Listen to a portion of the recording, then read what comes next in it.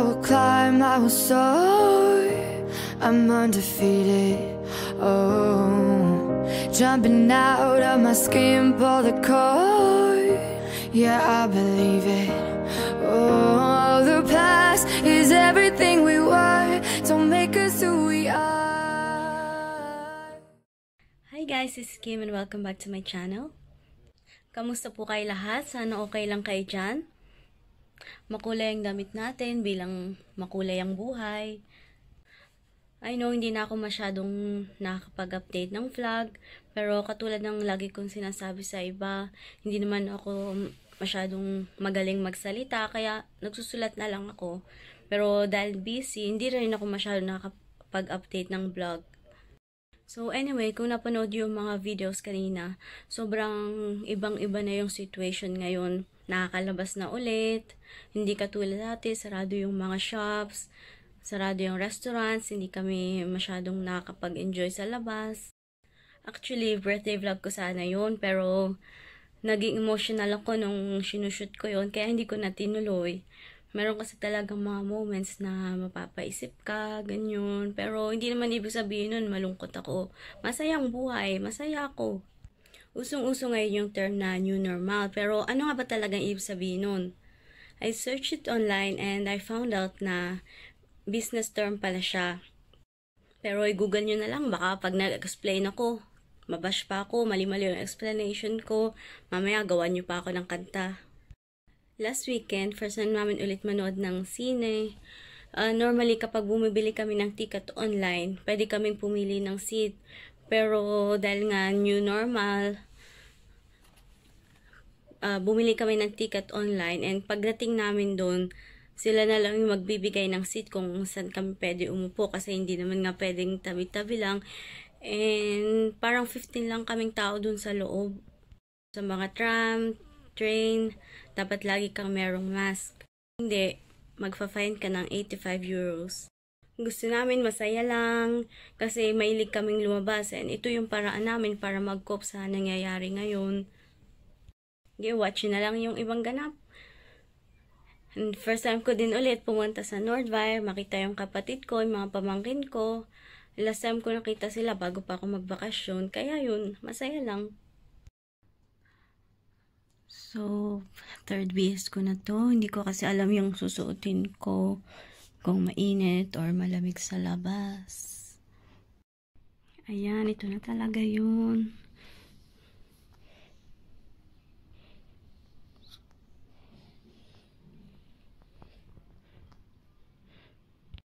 Gusto ko sana to or ito. Kaya lang baka too much na o, oh, di ba? Bago ko pa nalagay yan, dami ko iniyak. Kasi nga, no pain, no gain daw.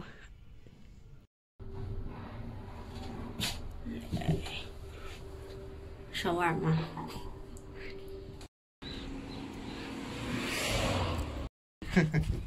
Ito yung makapag-vlog, ginagaya ko.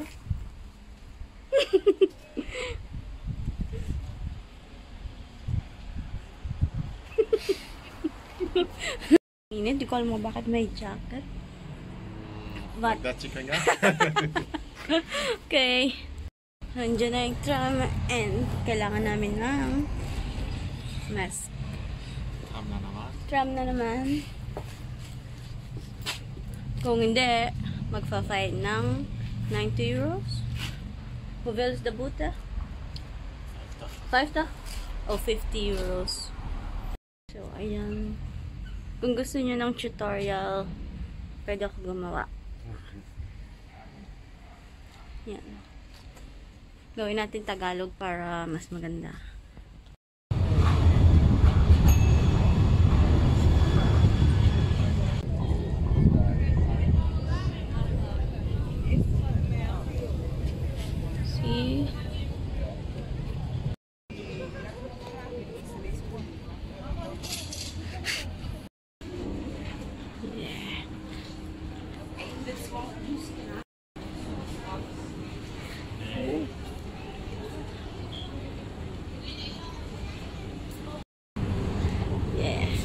Shopping na naman.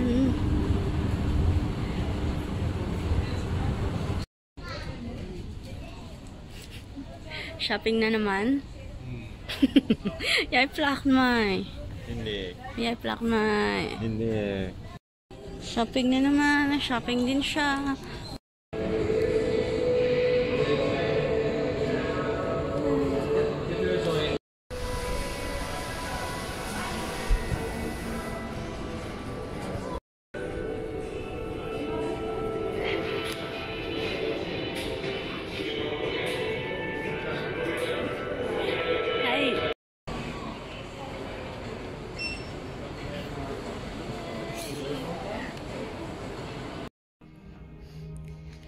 Nandito na kami.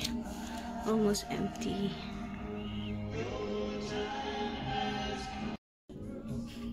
Yeah. Finally, we're going to watch a movie.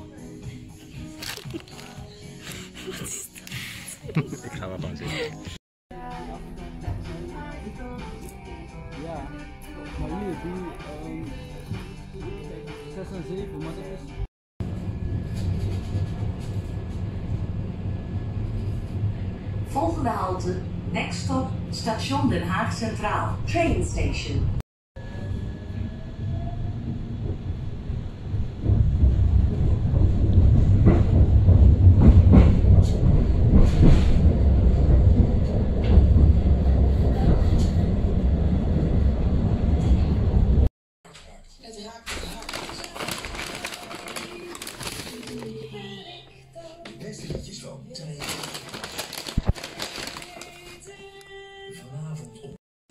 Muscles. Muscles. And muscles and wine. Yeah. Ooh.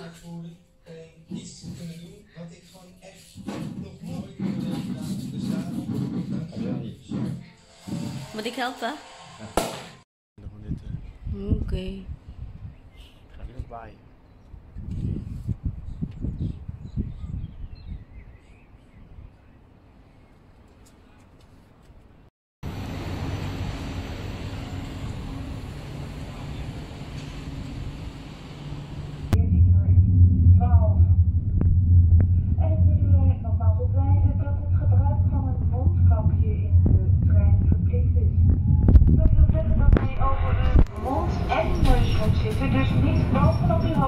Kin of aan uw oor moet hangen. Ook heeft de NS groene stickers geplaatst bij diverse zitplaatsen. Dat zijn over het algemeen de zitplaatsen aan de raamzijde. Wilt u zo vriendelijk zijn daar gebruik van te maken, zodat op deze manier het gangpad vrij blijft en we enige afstand van elkaar kunnen bewaren.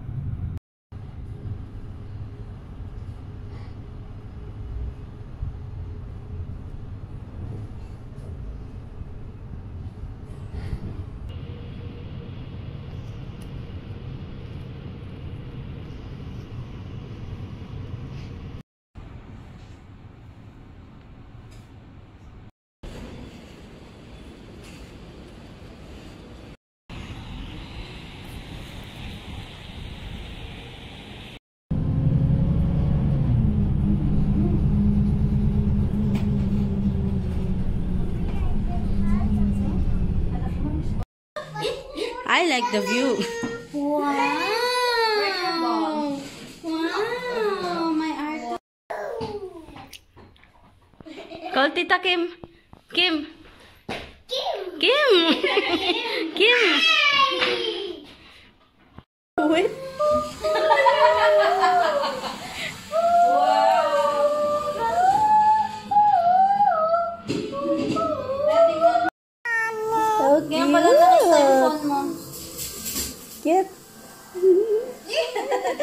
you think?